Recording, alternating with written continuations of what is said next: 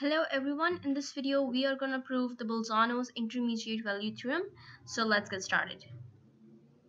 And please subscribe to make sure your maths teacher never gets mad at you.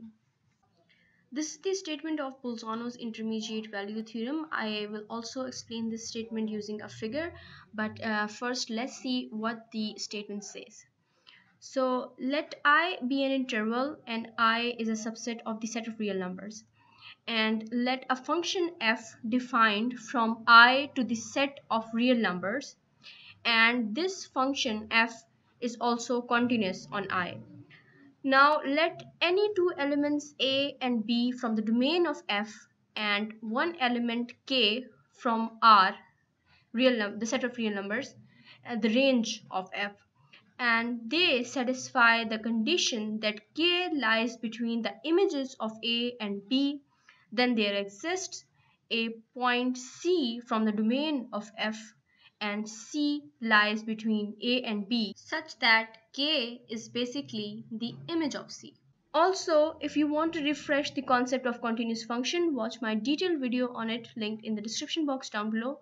And now let's move towards the uh, figure description of the statement. Let a function f is defined from i a subset of real numbers to the set of real numbers and f is a continuous function here.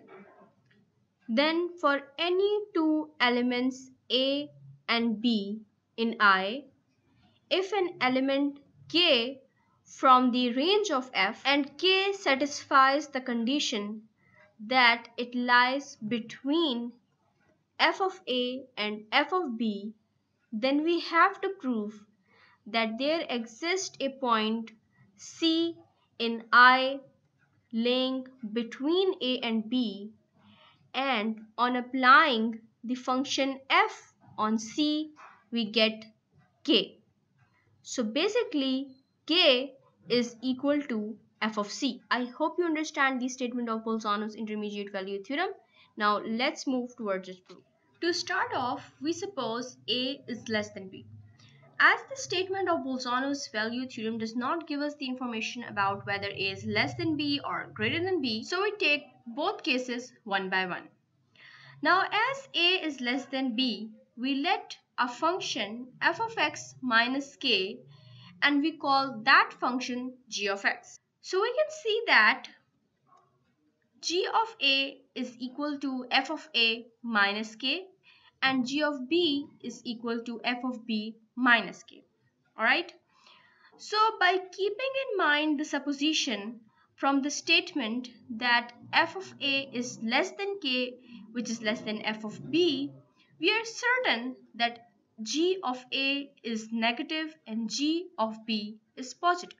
You might be wondering how? Well, because k is greater than f of a, so the answer for f of a minus k must be negative and similarly as k is less than f of b, the answer for f of b minus k must be positive. And we can write these two observations in the form of one single inequality like this. g of a is less than 0 which is less than g of b. Or you can say g of a is less than 0 and g of b is greater than 0.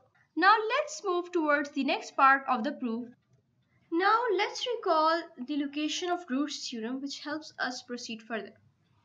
So the location of roots theorem says that let i be a closed interval and let f be a function defined from the interval i to the set of real numbers and f is continuous on i. If f of a is less than 0 which is less than f of b or if f of a is greater than 0 which is greater than f of b, then there exists a point C which belongs to the open version of I such that f of c is equal to 0. One thing you need to observe here that I is a closed interval and c belongs to the open interval. Okay. So as we have already seen that g of a is less than 0 which is less than g of b. So according to the location of roots theorem there exists a point C and C lies between A and B such that g of C is equal to 0 and we call this equation equation number 2 because we are going to use it later. But by equation number 1 which is f of x minus k equals to g of x we can see that g of c is equal to f of c minus k. And we call this equation equation number 3 but by combining these two equations I mean equation number 2 and equation number 3 we get f of c minus k equals to 0 which implies that f of c is equal to k which is what we need to prove. But where are you going? This proof is not finished yet. We have to examine the other case which is A is greater than B. Now we are going to examine the second and last case of this proof. We suppose that B is less than A or A is greater than B. And we also let a function k minus f of x and we call that function h of x. We can also see that h of a is equal to k minus f of a and h of b is equal to k minus f of b. We are actually repeating the same steps uh, just with a different function. So now by keeping in mind f of a is less than k which is less than f of b we can see that h of a is positive now and h of b is negative. How? Well, you already know the answer and if you uh, do not know the answer then um, rewind this video and watch the first part of the proof. So now we can observe that h of b is less than 0 which is less than h of a. Now similarly we are gonna apply the location of roots theorem and location and by location of roots theorem we have concluded that h of c is equal to 0 and we call that equation number 5. But we know by equation number 4 that k minus f of x is equal to h of x.